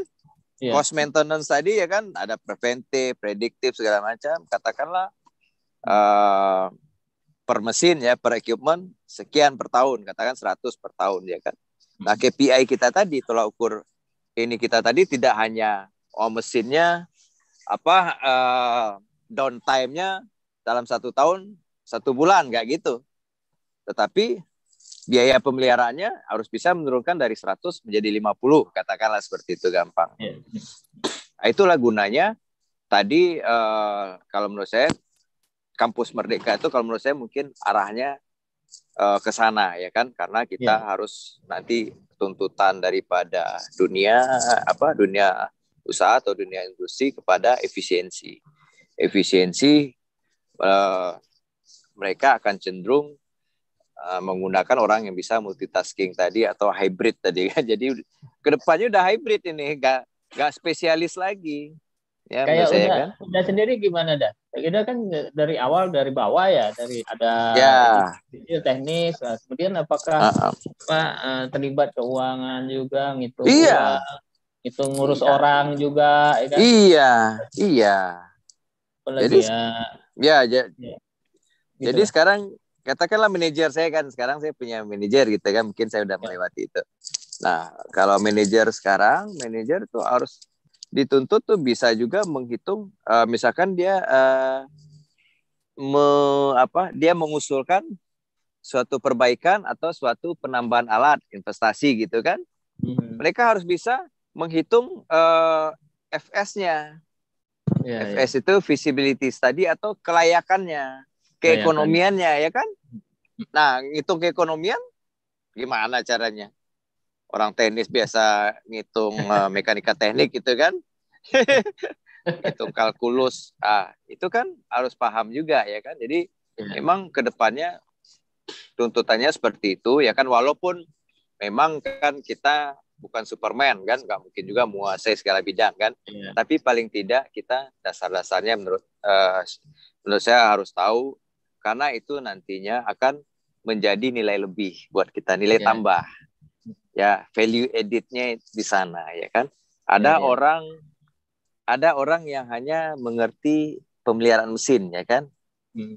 ya kan? Tapi ada ya. orang yang ngerti ngerti pemeliharaan uh, mesin ngerti juga misalkan tentang uh, finance ya kan? oh, ya ya kan?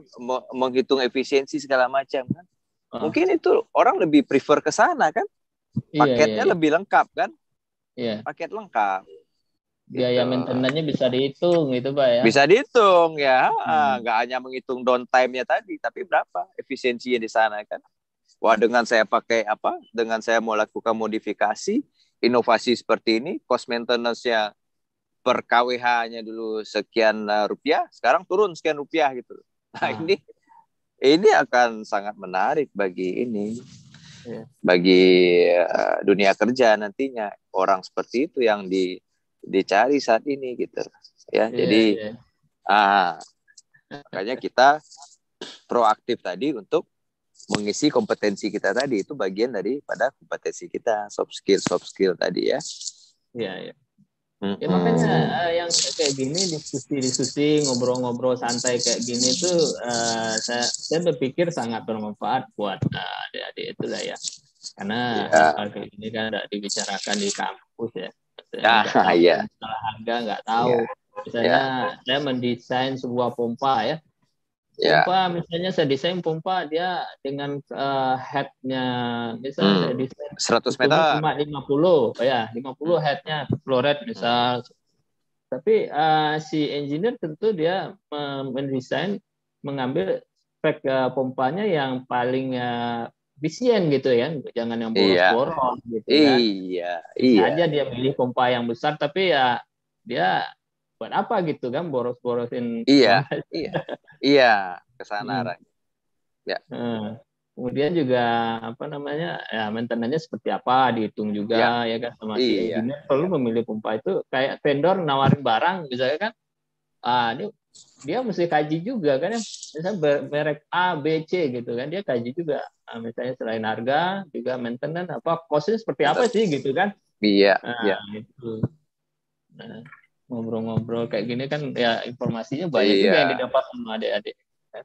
Ya, jadi semuanya itu nanti dibandingkan sudah bisa kita kalau di dunia kerja kita membandingkan opsi-opsi tadi kan, misalnya pilih yeah. pompa, pompa A, pompa B, pompa C, itu harus bisa kita nominalkan, yeah. kita angkakan itu, numberkan ya kan. Uh -huh. Kalau ini uh, biayanya sekian setahun ini biaya sekian nih efisiensi sekian nih hematnya sekian setahun. Harus ada angka-angka itu harus kita mau ini. Yeah. harus bisa menjadikan itu uh, menjadi uh, apa uh, accountable gitu loh. Jadi bisa apa di bisa dinominalkan. Ya bisa dikuantifikasi. Orang ya. ekonomi jadi tidak melakukan itu dah ya. Ya orang ekonomi uh, apa orang apa namanya keuangan tidak bisa menghitung itu kan ya? Nggak bisa. Dari kita yang menghitung ya kan? Kan nah. kita yang tahu performance ya kan? Performance uh, berapa kali maintenance-nya downtime-nya berapa lama ya kan? Kemudian reliability-nya keandalannya ya kan? Berapa lama. Jadi kita hitung itu in suatu investasi seperti itu kan. Investasinya berapa? Ya kan? Investasi yeah. uh, costnya nanti biaya OM-nya berapa ya kan kemudian reliability-nya atau lifetime-nya umur mesinnya berapa kita hmm. udah harus sampai ke sana nanti ininya iya yeah. ya tuntutannya udah sampai ke sana jadi engineer juga harus uh, punya sense sense bisnis tadi ya yeah. yeah, yeah. udah kan posisi ya, kalau, di niaga juga udah ya pengembangan ya, niaga ya. itu berhari-hari berputar itu udah ya gimana kita sharing iya. jadi operasi pengembangan niaga kalau pengembangan niaga itu artinya pengembangan usaha pengembangan bisnis ya kan atau bisnis ya, ya. development ya kan bisnis ya. development ya. sebetulnya nah bisnis development kalau kalau di dunia panas bumi ya tentu bagaimana mengembangkan yang awalnya PLTP-nya atau membagi listrik panas buminya hanya satu menjadi dua, dari dua menjadi tiga kan gitu kan? Yeah. Nah untuk untuk mengembangkan itu kan banyak uh, banyak effortnya di sana, ya. Mm. Yang pertama kita harus uh, mengkaji keekonomiannya dulu kan, kelayakannya kelayakannya itu ada kelayakan teknis ya atau KKO, kelayakan uh, operasional, yeah. ada KKF ya kan, kelayakan finansial atau teknis dan finansialnya. Jadi kita harus dua itu. Aspeknya secara garis besar ya walaupun nanti ada aspek legal segala macam pasti ada kelayakan. Tapi yang paling utama itu kita secara teknisnya dulu layak nggak? Yeah. layak nggak kita bangun misalkan pembangkit listrik di sini ya kan teknisnya? Layaknya apa? Kita resource-nya masih ada nggak? Ya kan resource-nya masih yeah. ada nggak? Ya kan berapa apa uh, resource ini sampai kapan bertahannya berapa kapasitas resource-nya misalkan yeah. seperti itu ya kan mm-hmm. oke okay. kemudian keekonomiannya harga yeah. jualnya berapa ini kalau kita kalau listrik harga jual ke PLN ya kan harga hmm. jual ke PLN sekian sen ya kan kemudian hmm uh, ini kita berapa, investasi kita berapa, investasi kita berapa, kemudian uh, overhead kita berapa, biaya-biaya kita berapa operasionalnya. Biaya operasional, misalkan uh, pegawai yang terlibat di sana, ya kan kontrak servis, kemudian biaya apa uh, maintenance-nya, operasinya berapa. Kita hitung, kita masukkan semua ya kan. Kemudian hmm. kurs kalau kita misalkan jualnya dalam dolar atau ini dalam dolar, kursnya berapa depresiasi kita masukkan semua apa semua parameter-parameter tadi kita run hmm. run keekonomiannya visible apa enggak ya kan iya iya ya kan nah eh, pendananya dari mana pendananya ya. pakai kas internal atau pinjam bank atau loan atau uh. kalau geothermal sekarang banyak eh, namanya eh, apa hibah nah hibah oh, itu iya. dananya gratis dari World Bank, dari ADB gitu kan. Yeah, nah, kalau dari kalau hibah tadi berarti itu nanti uh, eh, IRR yang kita dapatkan bisa lebih tinggi sebetulnya dengan harga yang jual yang sama. Kalau yeah. dananya tadi dana gratis atau paling tidak uh, dana murah gitu kan, bunganya yeah, yeah. rendah lah. Kalau kayak ADB itu bunganya di bawah dua persen per tahun. Hmm. Yeah, Tapi yeah. kalau bank komersial itu udah di atas enam persen kan jauh sekali kan. Yeah, Ini yeah. sangat mempengaruhi daripada keekonomian proyek tadi gitu. Yeah. Jadi nah itu padahal saya orang teknik kan, tapi kita juga harus uh, bisa menghitung seperti itu ya, harus menghitung keekonomiannya tadi tidak hanya kelayakan secara teknisnya tadi, tapi juga kelayakan secara finansialnya tadi seperti apa. Menguntungkan iya. nggak yeah. ini proyek ya kan? Iya. Yeah. kalau ya kan, kalau tidak menguntungkan, buat apa kita jalankan ini proyek? Buat apa kita iya. bangun? Yeah. Nah, kira-kira seperti itu apa uh, dalam pelaksanaannya. Iya, iya. Ini ada pertanyaan dari teman kita Pak Anggi dari Bukit Tinggi nih. Ya. Jadi bertanya, beliau bertanya nih tentang uh, Biodipa nih. Uh, di apakah sudah ada WKP government drilling yang sudah diambil investor gitu dah. Mungkin udah lebih update informasinya. Oh iya. Ini terkait dengan salah satu tantangan terbesar untuk investor untuk memberikan harga di bawah 10 sen per KWH gitu dah. Ini kalau udah dia udah bicara government drilling, ini berarti uh, sudah proaktif nih. Menurut saya dia iya. udah proaktif. Berarti minatnya sudah ada nih. Karena udah udah udah tahu government drilling kan government drilling iya, itu iya. adalah program pemerintah bagaimana supaya mempercepat pengembangan panas bumi di Indonesia dalam rangka menjawab tantangan atau komitmen global tadi ya kan iya, iya. menuju menuju emisi tadi kan zero emisi tadi kan net zero emission tadi nah kebetulan karena Geodipa satu-satunya BUMN panas bumi di Indonesia tentu tentu penugasannya kepada BUMN kan oleh pemerintah kan karena badan usaha yeah. milik negara. Nah nanti ini Geodipas saat ini ditugaskan untuk melakukan government drilling tadi. Kalau government drilling itu adalah namanya program uh, de-risking. De-risking itu dari 100% potensi panas bumi Indonesia kan sekarang masih di bawah 10% yang sudah dikembangkan ya kan? Iya. Nah, tantangannya di mana? tantangannya itu tadi karena risikonya tinggi kan ngebor hmm. tadi saya bilang eksplorasi 50% sukses ratio tapi bisa dapat bisa enggak pada biayanya satu sumur tuh 7 juta kurang lebih itu kan 7 juta yeah. tuh 100 miliar lah gampangnya ya hmm.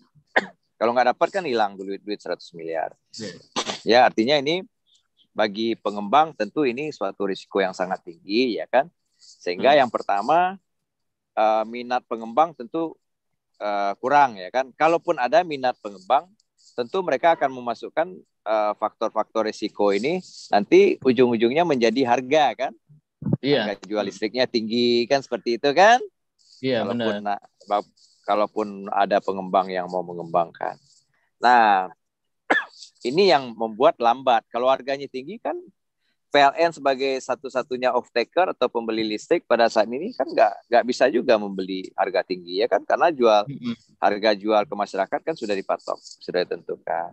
Ya kan? Nah supaya ini tetap bisa diper, uh, dikembangkan dengan cepat ada program dari sking tadi dari sking apa yang paling tinggi kan uh, risikonya tadi saat eksplorasi kan Iya benar. Eksplorasi di itu ngebor pertama itu loh, ngebor pertama itu kan. 50 lapangan yang iya.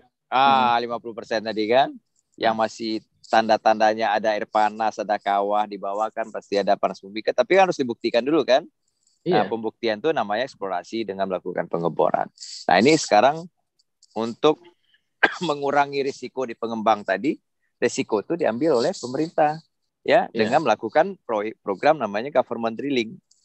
Nah, government drilling ini pengeboran dilakukan oleh pemerintah dan sebagai pelaksananya karena kompetensinya ada di Geodipa sebagai BUMN Panas Bumi ditugaskan Geodipa untuk melakukan government drilling. Nah, nah government drilling ini melakukan pengeboran di eh, wilayah-wilayah uh, yang belum ada WKP-nya karena masih wilayah terbuka. Yeah. Gitu kan tadi bicara WKP kan.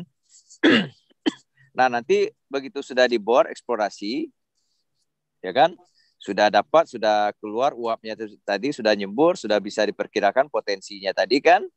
Wah, ini hmm. potensinya ini 200 mega, 300 mega atau berapa kan? Nah, itu ya. kan pengembang resikonya udah, udah turun karena tingkat kepastiannya naik kan? Iya, iya. Tingkat kepastiannya udah tinggi, udah ada uap kok. Wah, ini 200 mega berarti ah, kalau ini saya bisa jual 10 sen lah per, iya, iya, iya. gitu kan. Tapi kalau masih meraba-raba, oh saya pasang 18 sen dong atau 15 sen kan gitu kan. Iya, iya. Nah, ini yang ditugaskan pemerintah kepada Geodipa saat ini. Nah, government drilling saat ini memang masih dimulai di dari daerah timur sana. Nusa hmm. Tenggara gitu kan, Nusa Tenggara Barat, Nusa yeah, Tenggara yeah. Timur. Seperti itu. Nah, ini sekarang lagi persiapan pengeboran kita ini di Waisano itu. Waisano itu uh, Waisano itu Nusa Tenggara ya di Nusa Tenggara. Ya, ya. jadi ya, seperti ya, itu. hmm. jadi ini mungkin Manggarai, sudah ini sudah tidak terasa sudah satu setengah jam kita ngobrol nih dan iya iya. Uh, nanti terlalu lama nanti uh, teman-teman uh, nanti yang nonton di YouTube uh, juga bosan ya. ya.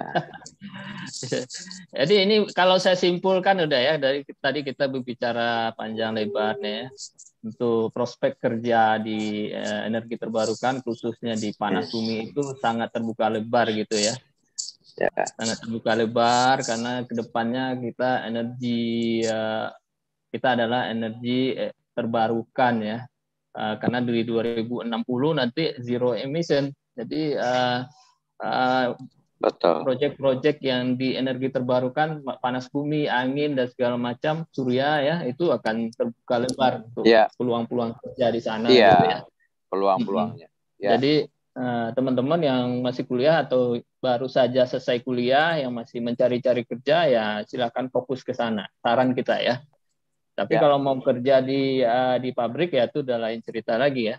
Karena kita uh, pengennya tentu yang lebih ke besar ininya ya uh, yeah. income-nya ya. Yeah. Kemudian di ini di buat adik-adik ini semua selain technical, kompetensi technical, knowledge ya, seperti tadi yang disampaikan hukum Bernoulli, ada hukum Newton juga tadi F sama dengan M kali A, kemudian hukum kekekalan energi itu dipahami, benar-benar dipahami. Jadi nanti ketika di challenge, ketika kerja, interview kerja nanti bisa menjawab dengan uh, benar ya, karena nanti uh, fokus pasti akan fokus, fokus ke sana untuk yang fresh graduate ya. Nah, yeah. tapi jangan lupa juga selain itu ada soft skill juga ya, soft skill yang perlu dikuasai. Ya, seperti komunikasi, kemudian uh, untuk visibility study itu kita perlu juga kemampuan untuk menghitung keuangannya ya layak apa enggak ini project-project ya. Nah, itu perlu dikuasai juga. Ada attitude juga. Attitude itu sikap ya. Sikap kita harus uh, yang bagus ya. Tunjukkanlah kita sikapnya sebagai engineer yang benar-benar engineer yang mempunyai etika yang uh, baik di depan mata orang ya. Kemudian uh, kita nanti ke depan juga engineer dituntut untuk multitasking tadi, menguasai kemampuan teknis juga kita menguasai komunikasi, kemudian keuangan dan lain-lain sebagainya itu juga harus kita kuasai gitu dah. Ya teman-teman semua ya. Oke, mungkin ada eh, ada yang terakhir dari udah Dodi yang mau disampaikan udah karena waktu kita udah uh, cukup uh, satu setengah jam. Saya, saya, saya sudah sama adik-adik ini tetap semangat belajar ya, terutama nih di situasi situasi pandemi ini. Walaupun kita tidak ketemu dosen tatap muka, ya kan saya rasa itu bukan uh, bukan suatu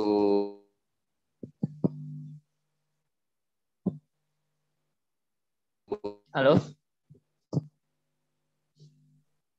Halo? Agak agak terputus. Terputus. Halo? Halo?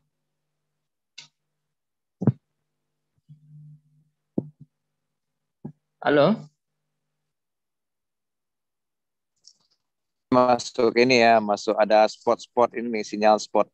Iya, iya, iya. Ah, iya kata ya, ada kata yang terakhir yang perlu disampaikan untuk spot ya. yang ini, mohon maaf. Ini pesan uh, pesan saya buat adik-adik. Nah.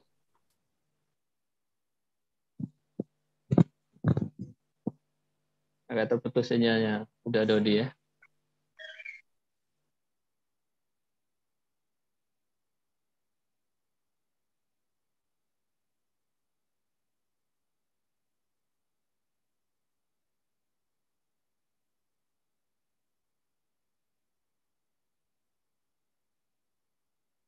Ya, tadi ada yang bertanya uh, etos energi ya, Pak siapa tadi Pak uh, etos energi itu bukan bagian dari etos energi yang dari luar itu Pak ya, Pak siapa tadi bertanya Pak. Etos energi ini adalah yayasan yang kita bikin untuk. Mohon maaf, uh, putus-putus. Iya iya baik baik. Ah, mohon maaf putus-putus tadi ada apa di jalan kan spot-spot yeah, yeah. sinyalnya. Ah, okay. Silakan silakan. Kalau uh, sebentar yeah. uh, tadi pesannya apa gitu kan? Kalau pesan saya buat adik-adik tetap semangat ya kan terutama di masa pandemi ini walaupun belajarnya online saya rasa itu yeah. bukan alasan ya buat kita tidak belajar ya kan hmm. hanya ini pergeseran cara belajar saja ya kan jadi tetap semangat tetap uh, proaktif tadi tuh mencari informasi-informasi tadi untuk belajar ya. ya. Uh, Khususnya untuk anak-anak Unan ya harus proaktif ya supaya kita nggak oh, iya. jalan sama iya. teman-teman yang di Jawa ya. Mereka Betul. lebih banyak informasi yang dekat sama mereka ya. Secara fisik mereka juga dekat. Nah, kita jauh, kita harus lebih effortnya gitu dah ya. Ya betul. Oke, Terima kasih banyak udah Dedi, udah Dodi atas uh, waktu dan uh, uh, pikirannya atas waktu dan sharing pem, uh, pengalamannya. Semoga bermanfaat uh, buat kita semua, baik ya adik-adik mahasiswa. Terima kasih banyak udah Dodi atas waktu dan uh, sharing. Ya, sama-sama sharing pengalamannya dengan kita bersama. Semoga bermanfaat uh, buat uh, adik-adik yang lagi kuliah maupun yang lagi galau cari kerja ini ya. Mudah-mudahan uh, bisa bermanfaat buat uh, mereka sehingga uh, memudahkan kita untuk mendapatkan pekerjaan yang, yang kita inginkan gitu dah. Sekali lagi, ya. uh, Etos Energi ini adalah uh, lembaga kita bikin media ya untuk menjembatani praktisi dengan uh, lulusan perguruan tinggi non profit dah ya. Jadi kita hanya sharing-sharing gitu aja untuk uh, membangun komunitas engineer uh, supaya lebih ba bagus dan lebih baik ke depan gitu dah. Dan siap untuk bekerja gitu.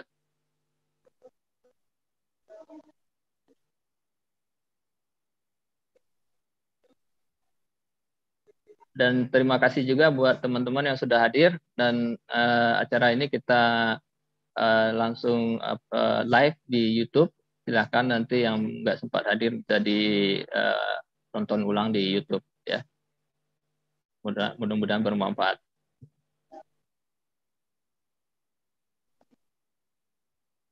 Oke, uh, terputus sinyal dari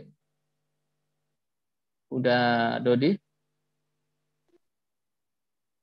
Kita ada sebelum ini ada yang mau bertanya nggak ya secara langsung?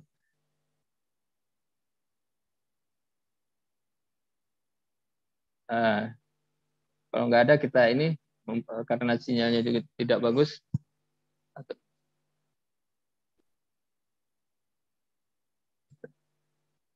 Tadi siapa yang bertanya ya? Etos energi itu ya.